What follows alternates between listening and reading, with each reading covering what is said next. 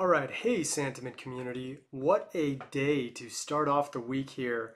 A bloody Monday in crypto. Bitcoin did fall down all the way to 39.5k, uh, and that was one of the lesser falls among the many, many crypto assets out there that you're probably following. Um, many dropped 10% or more in just the past 24 hours. Um, big retracements all around, followed by, at least at the time of this recording, a very mild bounce. Uh, and the big question that I know is circulating all over social media right now is are we going to see a quick recovery? Or is this kind of the beginning of a, a little bit of a concerning dip that might take us all the way until the April halving before things might look a little more optimistic? Or even will it go beyond the halving and prices were already baked in uh, with the anticipation that the halving would be a huge success? We know how that went for Litecoin. Uh, that was kind of a, mild run up going into the halving uh, in the middle of 2023 and then a big drop. And it was one of the worst underperformers after that halving completed. We know that the Ethereum merge had a similar effect where there was a little bit of a buy up back when Ethereum was around that 12 to $1,600 range. Got to the high end going up to the merge, and then after a successful merge, it dropped back down.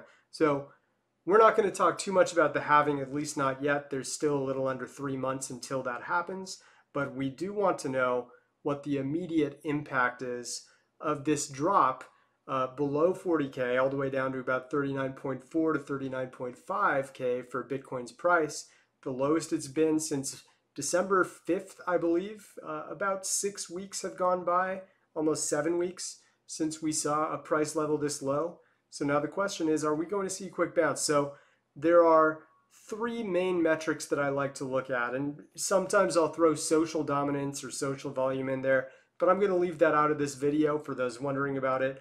I'll probably do another video on that specific metric very shortly so we can see how the crowd's actual reaction to this development is going. For now, what we're going to look at are just some of the objective mathematical metrics that I really like to take into account when judging how quickly a bounce may happen. So for starters, let's look at MVRV. And in this case, I'm looking particularly at the intraday MVRV. So we can actually look at things on basically a hourly basis. Uh, I'm kind of zoomed out right now to the last six months. So Santiment has defaulted to the last eight hour, or every interval is eight hours. Uh, but MVRV, for those who don't know how it works, the higher above 0% it is, the more risk the asset has of seeing a drop. You can see right before it had its big drop uh, going into the, or actually I should say a day after the ETFs were, were approved by the SEC, the MVRV showed the average trading returns. We'll just we'll go to the peak here on January 8th, a couple days before. It was at about 8.5%. The average trading returns were um, for any active address on the Bitcoin network that had been active in the past 30 days at this point. Uh, right after the ETF announcement on January 11th, it was down to 5.2%, but still in the positives, indicating there was still some risk of Bitcoin dropping. And then finally, it did see that big drop, and you can see this uh, MVRV here did drop all the way to negative 2.5%. And I've gone ahead and updated my mouse to a larger size. We dropped all the way down to uh, a little over 5%. It looks like about negative 4.8%. It went up a little bit, but it's actually been in the negatives for the last week or so, going back to around January 14th or even 12th or so. Um, and now it, the MVRV is actually, it, it got all the way down to about negative 8.6%, which is actually the lowest it's been since August. We're looking at August 19th, the last time we saw this level. A little over five months have passed since we last saw this. So this is actually pretty monumental. Bitcoin had been enjoying such a nice party here with average trading returns consistently above the 0% line that people are not used to this at all. And it absolutely could be a short visit in the negative uh, range, which would indicate that there is less risk than usual at buying or adding onto your positions here. Um, but it's hard to say. That's why we have to combine some other metrics here, which is why I have the RSI, which is a great metric to take a look at. So the RSI is also known as the relative strength indicator, and it takes a look at just how much momentum is in the price patterns. If it's going down very aggressively, the RSI goes down significantly. If it's going up aggressively, the RSI goes up significantly. It's highlighted here in teal, so pay attention to that as I point things out here. You can see that the RSI got all the way up at one point to 96. Now the RSI is a 0 to 100 scale, with 50 being average conditions. So considering it got up to 96 on October 25th, that was a sign that things were probably going to cool off for a little bit. And it kind of did, but if anything, it just kind of flattened out for a couple weeks and then continued on its great surge. Finally peaked here again at 91, and then we started to see a bit of a correction. So as long as price is growing gradually, you'll notice the RSI doesn't really go up too aggressively and it kind of stays in this middle, you know, 45 to 55 range. Sometimes it might go up to 60, but price the price was still climbing pretty significantly even though the RSI was pretty stable. But now, after a big drop, look at how the RSI has gradually fallen, got down below 50 right here on January 14th, and it was at about 41 uh, over the weekend. And after this drop to below 40K, the RSI has fallen all the way below 20. Technically, it's at 19.24 right now, which is an extremely low level. Uh, the last time is similar to what we saw with the MVRV. August 27th is the last time we saw things that low, and we could see how great of a time that was to buy Bitcoin. So that's a pretty encouraging sign that we should at least see some bounce. But just keep in mind that the RSI, RSI could stabilize and get back up to 40 to 60 or so without needing to necessarily have a big bounce. It might just flatten out. It might just grow a little bit uh, in order to recover back to a middle ground. But I would still be intrigued uh, and expect a bounce here as long as the MVRV is well below 0% as it is now. It's not even in the 0 to negative 5% range, it's closer to negative 10%. So that's pretty deep. Uh, I set the axis for the 30 day MVRV at plus 20% all the way down to negative 20%. And we'll look at a few other coins in just a moment. I picked five different majors so we could have a comparison to see which might be the best dip buy candidate according to the math right now. But before I jump over to Ethereum, which I'll look at next, take a look at funding rate. Uh, in this case, I like to just look at the Binance funding rate, but we do have other examples like BitMEX, uh, DYDX, Deribit, um, and I think those are the other three we have at the moment. But what the funding rate is showing is we're actually just in a neutral territory right now. We did see a bit of greed here just prior, maybe five days prior to the actual top that we saw here uh, on the day the ETFs were announced. Uh, but it does look like the funding rate is neutral for now, so nothing too concerning there. Ideally, we'd actually like to see negative funding rate. This basically means that uh, margined and, and leveraged shorts are paying longs just so they could borrow and bet against the price. And when that happens, the funding rate is designed to always kind of gravitate back to neutral. So anytime it gets too extreme, there's going to be long liquidations, or at least the- theoretically, the market will pull upward in order to liquidate these longs, or liquidate these shorts, sorry. And then the shorts that get liquidated just add rocket fuel to prices moving up higher. Just like eventually these some of these longs got liquidated and the downswing was more severe because the longs added downward rocket fuel to make prices dip more than they otherwise would have. So these are the three main short-term metrics I like to check out to see if a dip is coming. If I had to assess this just based on these three metrics, I'd say yes, there's an argument that a short-term dip could come.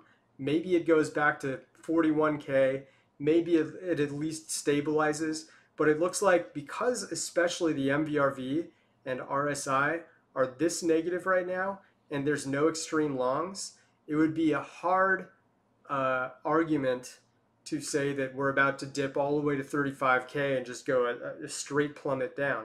That could still happen gradually, but more likely we see just a mild dip. People start to get a little excited again. And again, I'll look at social metrics another time soon.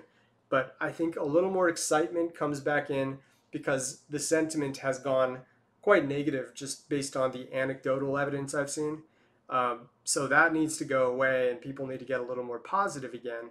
And when they go positive, that's when a further drop would happen. If they don't go positive, if, if everyone just stays pessimistic, the whales and sharks might just say, you know what, I'm going to scoop up a bunch at this price. Uh, I don't even know if it's going to go lower. And then we could see a bit of a boom. So, uh, as backwards as that sounds, you want to see the crowd extremely negative right now. You don't want to see a lot of optimism and huge Telegram and Discord channels agreeing that it's time to buy the dip. You want to see the opposite right now. So that's just a conclusion on Bitcoin, which is, of course, the most important because its health has a reflection on these other four assets I've picked.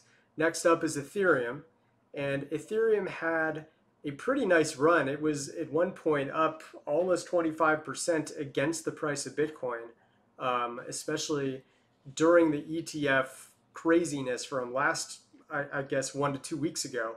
Uh, but it has dropped back down. It's a little above $2,300 at the time of this recording, which is still great if you got in back in October or so.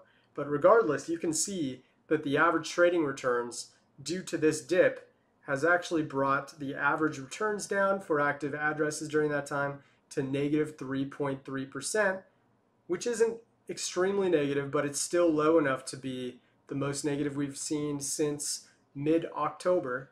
So we're looking at a little over a three month low in trading returns. Now, I would say something below negative 10 or even below negative 15 is that really juicy opportunity where you'll mathematically, more often than not, see a, a, a jump in price to even out all of the losses that are happening. But we're nowhere near that right now. So we could be in for a little more pain we go back to Bitcoin here and we can see that that was at negative 7.9% for the 30-day MVRV. So Ethereum arguably is slightly more overvalued than Bitcoin, but both Bitcoin and Ethereum overall are at a less risky time than average based on the fact that short-term traders are losing right now.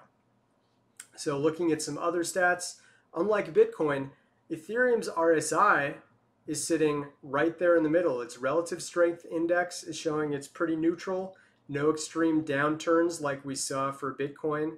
You know, we did see a few big opportunities for Ethereum where on October 5th, uh, 14th, I should say, it was right around where Bitcoin is now at 19 or so.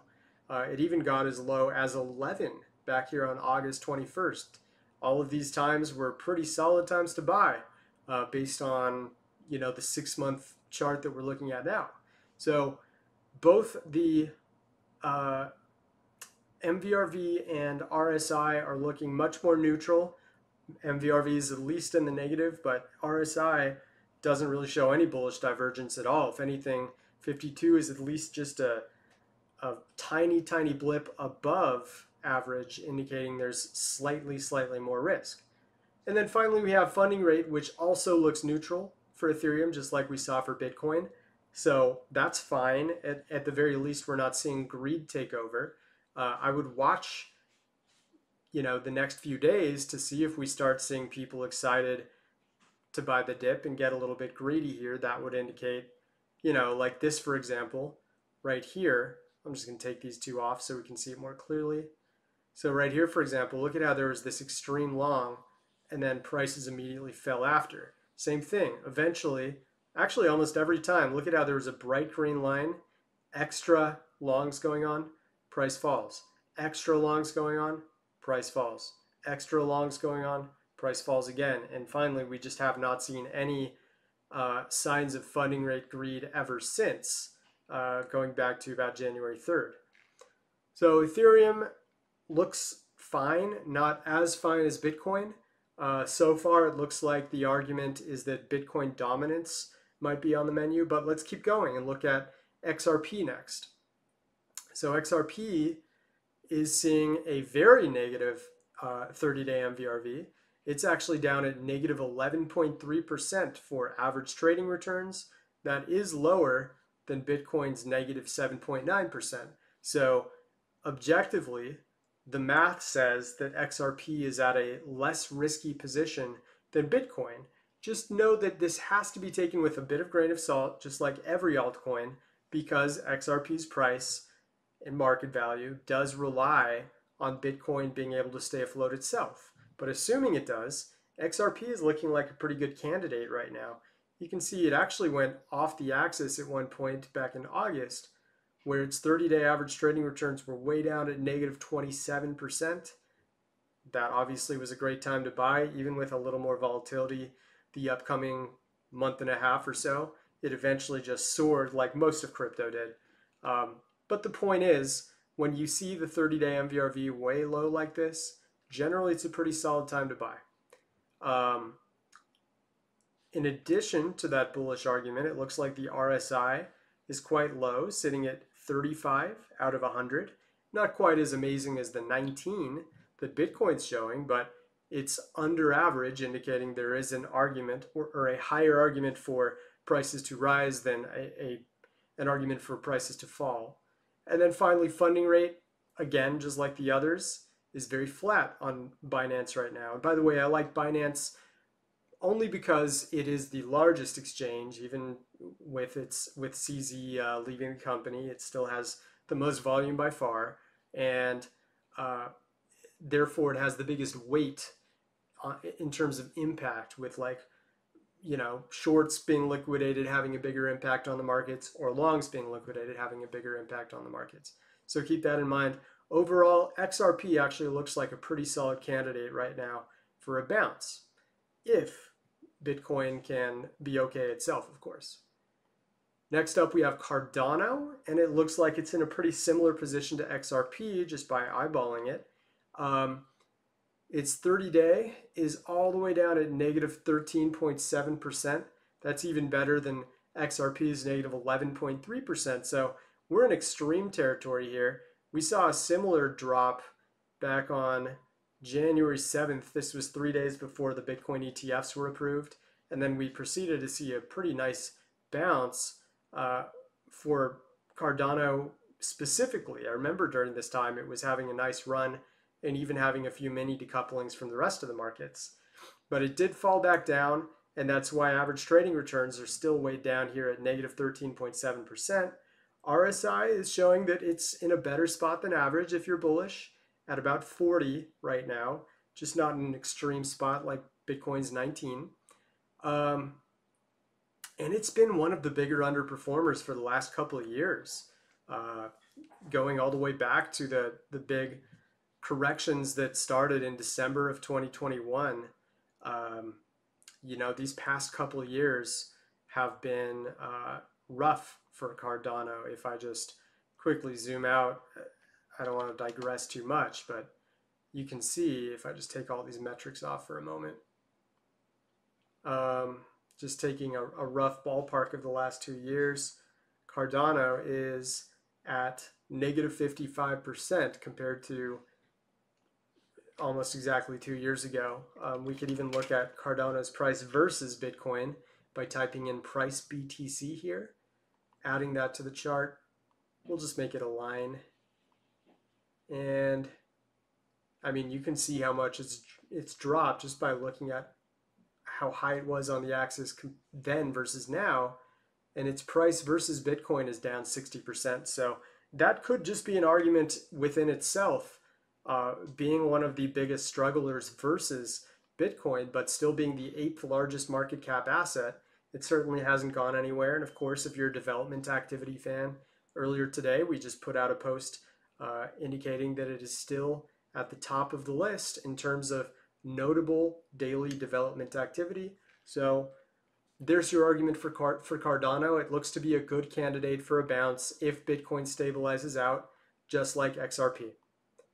And then finally, I wanted to throw in Chainlink because I know there are a lot of fans of Link on Santiment as well as just uh, the X uh, community in general.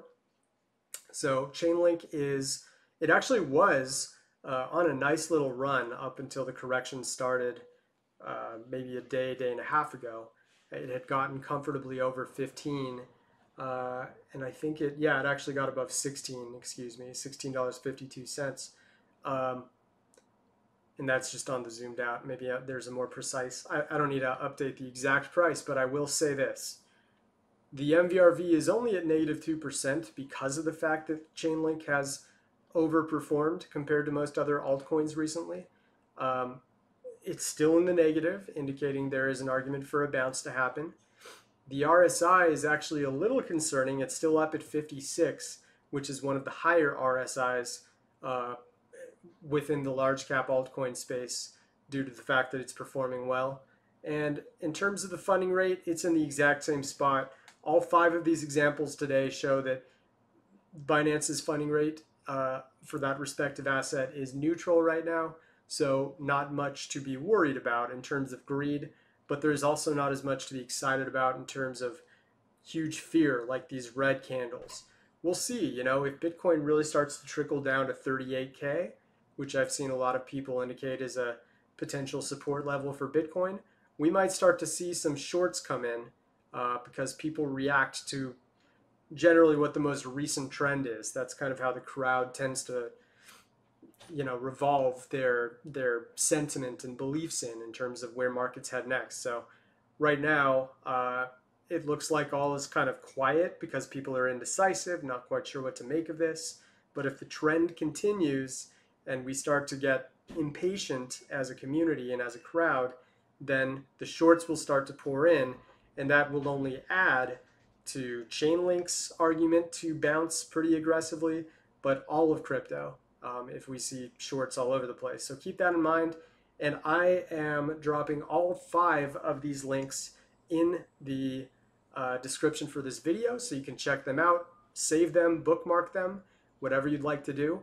Remember that you're only going to see real-time access if you are a Sanbase Pro member already or you're on a trial. So I'll leave a link so you could open up a trial and explore all of these metrics, these links that I've shared, as well as just all of the other offerings that Santiment has here on this left column. You know, you can easily just um, pick anything like trading volume, add it to a new chart, and you've got more data at your disposal um, explore it. Let us know what you think. Uh, and I hope this was helpful, guys. It's a really cool thing to be able to look at the swing trading metrics uh, that kind of give you a day to day understanding of where prices are likely to go and not just focus on like a month to month or year to year. And everyone has different strategies. So this is more for the short term traders this episode. And uh, with all that said, I wish you well. Uh, stay safe. Talk to you soon.